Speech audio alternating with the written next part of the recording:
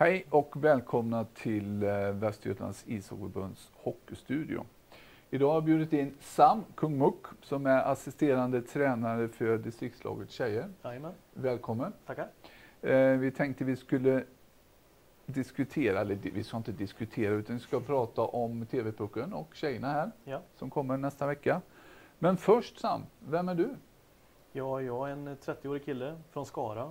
Eh, Ja, har en pojk på två år och en sambo. Och vi bor ute på, på landet. Mm. Så är det. Mm. Vad gör du i det civila? Jag, eh, just nu pluggar jag till sjuksköterska Mm. och så har jag ett eget företag då inom hälsa. Eh, vi tänkte vi skulle känna dig lite, lite mer eh, bakom så jag tänkte ställa fem snabba puckar som vi säger här i studion här. Eh, senaste sedda film? Ja, det var nog igår kväll. Jag kommer inte ihåg vad den heter men det handlar om lite politiska grejer kring eh, USA och så. Ja. Har du politiskt intresse? Jag är intresserad av att se vart vi kommer ifrån Mm. tidigare i historien politiskt sett och se vart vi kanske kommer hamna Ja. framöver. Mm. Så det är ett litet intresse jag Mm. har. Favoritmusik? Artist? Oj. Det, Vad det är lyssnar du bla, på? väldigt blandat. Det är väldigt Just nu på vägen hit så var det lite Lale Ja, i bilen. ja. Det är inte dumt. Nej. Vad har du för favoritlag? Eh, ja, mitt favoritlag i Sverige har ju alltid varit HV. Jag vill säga SHL men det är det ju inte längre. Nej, nej. eh, imorgon så är det fredag. Eh, ja, Mm. Vad står på bordet när det är fredagsmys hemma hos familjen? Oj, eh, ja, vi lagar mycket thailändsk mat så det blir nog någonting med räkor och, och lite fisk och lite sådana grejer. Mm. Då förstår jag även att den, min sista fråga är att favoritmat. Ja, det är thailändsk mat. Det är thailändsk mat. Ja. Så, då har vi känt lite där. Jag tänkte faktiskt även att vi skulle gå in lite på att eh, du har ju faktiskt en gedigen spelarbakgrund också. Ja. Eh, 2006-2007 ser jag här så gjorde du då debut i Skara IK division 2. Ja, då var jag inte så gammal. Nej. Jag har varit 15-16 sådär. Mm. Ja, i den åldern var jag. Så Ja. jag gick i nian när jag Ja. började. Eh, och eh, sen så gick det, ser jag här, gick det vidare först till Almtuna. Ja, Spelade J18, J20. Mm. Sen var du nere i Småland. ja precis. Sväng in nere i Tingsryd. Ja. Eh, och sen även tillbaka upp till Uppsala till Almtuna. Ja. Var det eh, hockeygym eller var det... Det var hockeygym bara. Mm. Och eh, det var lite struligt där ett tag i Almtuna. Ja. Så när vi kom dit så skulle vi ha en... eh, Jag har ju varit på mycket camper för SOI och Mats Emanuelsson då. Och han skulle egentligen vara huvudtränare för gymnasiet då. Men så blev det lite strul där. Och då blev det inte riktigt som det var tänkt och då tappade vi det lite grann i Almtuna. Men sen kom han tillbaka och därför blev det en snabb session fram och tillbaka. Mm. Sen så vet jag även att du gjorde ett år i USA. Mm. Det var eh, efter, vad blir det? Det var mitt sista I20-år. Då åkte jag över till USA så jag hamnade faktiskt uppe i Alaska först. Det Mm. gjorde jag. Och eh, spelade där med ett lag som heter Alaska Avalanche. Eh, gjorde lite träningsmatcher och så. där. Sen eh, var väl inte ekonomin så bra i det laget så då började de trada mot olika draftval och så där, som skulle ha in lite yngre och då var man inte så gammal. Nej. Men redan då ville man ha in yngre så då blev det en resa ner till Valencia Flyers då, i Los Angeles, förort dit. Då. Ja. Det Ja, var det måste varit en häftig resa att se Alaska och sen även Jo, komma ja. ner till... Eh, Ja, det var ju lite dumt för jag packade ju för vinterkläder då. de fick du inte så nytta av dem när du kommer ner till eh, Nej, var bara- Hollywood då. Det blev bara massa packning. Mm. Och sen tillbaka som jag ser här till eh, Skara, Mm. Törboda, Alingsås har också spelat i. Eh, ser att du slutade spela 17-18 Mm. Precis. i Törboda i dåvarande division 2. Eh, men du har även representerat Västergötland i TV-pucken. Ja, det har jag gjort. Som, vad var man då? Då var man 16-åring för då hade vi, så vi gick gymnasiet då. Samma Mm. år som vi skulle gå gymnasiet spelade vi TV-pucken. Ja. Så det var lite annorlunda då men eh, det var roligt. Då hade jag Janne Eriksson och Fredrik Landgren och Niklas Olsson och de här som tränare då. Som Mm. var, det var ett kul gäng. Martin Olsson spelar väl fortfarande tror jag i Nybro. Mm. om jag inte minns fel. Tju- 2007 på Gotland, kan det stämma? Ja, Slite. lite ja. Eh, sen när vi kommer in på din tränarbana, hur kom det sig att du kom in på, när du, när, när du slutade att spela, liksom, hur kom du in på tränarsidan? Nej, det var väl egentligen så att när jag spelade själv så var jag väldigt intresserad av vinklar och taktiska tankar och sådär. Jag hade ju väldigt kompetenta tränare måste jag säga i, i Almtuna då, under hockeygymnasiet i Mm. Mats Emanuelsson och Andrei Pierov och med flera som var väldigt, väldigt duktiga. Eh, och man kunde sitta på, på eh, håltimmarna och gå och fika med tränarna och, och snacka hockey hela dagen. Alltså man blev liksom som en elev för spelet. Så det grundlade sig väldigt tidigt, den taktiska biten. Och sen Mm. eh, tyckte jag det var, skulle vara roligt då när hockeyn var slut och ta sig an tjejhockey framför allt. Då. Mm. Eftersom det är en ganska, ja det är inte så, den är, det är utvecklingsbart väldigt Mm. mycket. Och Mm. det finns en annan kultur i det som det inte gör i herrhockeyn eller killhockeyn. Mm. Mm. Eh, du gör ditt tredje år Mm. inom distriktslaget där.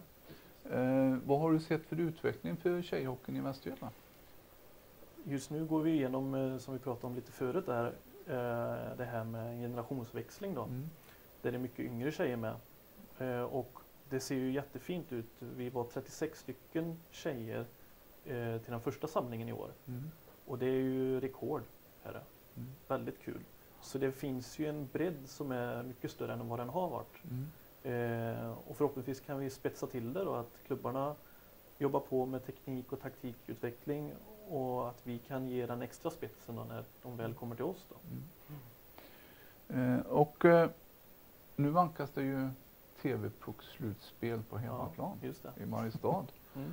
Eh, och eh, ja, om en vecka så, så är matcherna igång. Ja. Och ni ställs då eh, nästa fredag. Spelar ni en kvartsfinal mot Ångermanland. Mm. Precis. Det- Eh, Det blir en tuff match. det blir en tuff match. Och, eh, men jag tror vi har en bra chans att, att slå dem med. Mm. Det tror jag absolut. Eh, vi har ju pratat om att vi ska försöka utvecklas under turneringens gång Mm. så att vi gör de bästa matcherna till sist. Så förhoppningsvis har vi en sån formkurva in i slutspelet. Mm. Om, om vi går tillbaka till Tranås där, Mm. eh, som ni var i kvalet och spelade lite matcher. Eh, lärdomar att ta med sig från det? Ja, det är ju just det här att jobba med fötterna, åka mycket skridskor. Det, stundtals så blev vi lite stillastående och sådär och, och då straffades vi. Mm. Men när vi väl fick igång det, vi hade någon kväll där mitt under kvalspelet där vi faktiskt gjorde lite videogenomgång med tjejerna. Mm. Och då kändes det som att poletten trillade ner ganska bra och då, det syntes väl till matcherna som kom efter. Mm. Att, eh, så det, de här bitarna, åka mycket skridskor och kämpa för varandra är viktigt. Eh, hur har det sett ut efter Tranås då fram till, till Mariestad med läger och sånt? Var ni, har ni haft några samlingar? Eller det är klart Ja, ni har haft samlingar men och vad har ni jobbat? Precis, vi har ju varit i Ulricehamn efter kvalspelet då. Och där har vi väl jobbat lite extra med, med inspel och uppspel och sådär. Mm. Sen eh, var vi nu i Vårgårda en sväng och då körde vi bara igenom lite sådana här grunder. Att gå på retur, gå på mål, Mm. våga skjuta, sätta dit puckarna. Bra passningsspel och så. Mm. Sen har vi nu en samling då på lördag. Så det, det ser ut som att vi, ja, vi, vi har inte riktigt bestämt vad vi ska lägga krut på där än. Nej. Men eh, det blir väl inte för mycket tänka innan kvalspelet. Så det finns ju en del taktiska bitar men man vill inte jobba för mycket med det heller utan det mesta ska sitta fram till, Mm. till slutspelet. Här. då. Mm. Kommer väl förberedda alltså? Ja, det gör vi. Mm. Det gör vi. Alltså det blir fantastiskt kul. Eh, så. Eh, jag tänkte även ställa lite frågor kring eh, vad, vad, om vi går bakom TV-pucken med, med tjejhockeyn i Västergötland, vad ser du för utmaningar? Ja, det, utmaningen är ju att fortsätta hålla tjejerna intresserade av och, att Mm. komma och träna och, och just den här biten att de mm, utvecklar, utvecklar sig. Att man har en, en stomme eller en grund i, i tänket när man är i klubbar och även i väst, för förbundet här då, att Mm. man jobbar för att man ska utvecklas hela tiden åt rätt håll.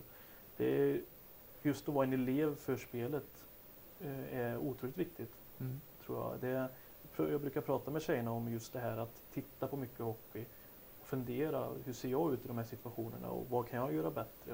Just det här egna processen, att man får verktyg för det Mm. och jobba med det. Är det någonting som ni har genomgått eller har som eh, varje samling så att ni pratar om de här bitarna? Ja, det försöker vi göra. Ja. Just det här att, eh, precis som vi sa här, att eh, vi pratar om det och, och även göra dem delaktiga och få svara på de frågorna också. Mm. För det är en sak att bara höra någon säga att ja, vi ska tänka på det här, men faktiskt våga svara på det inför oss som är ledare och så också. då. Mm. Ja, eh, kul. Mm. Eh, om du får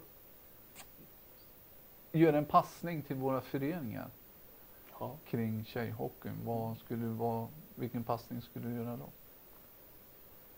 En passning jag skulle vilja ge då är att just våga prata om utveckling. Alltså i den mån att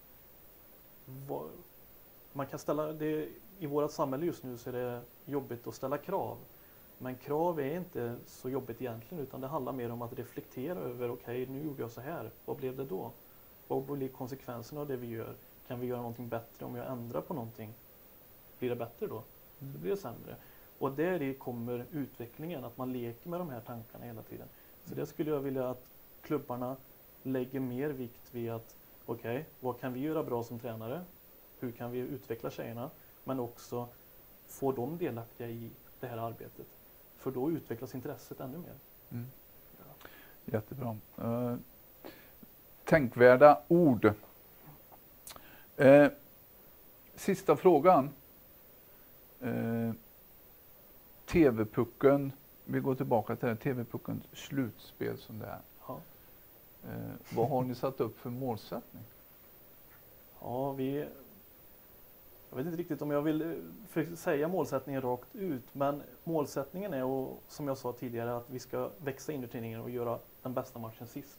Det är målsättningen och förhoppningsvis ska vi sluta som etta med det Mm. tankesättet. Det hoppas vi verkligen. Ja, Stort tacksam att du kom. tack. Jättetrevligt. Eh, och eh, innan vi säger hej då så glöm inte vår insamling som vi har mot eh, bröstcancer och prostatacancer.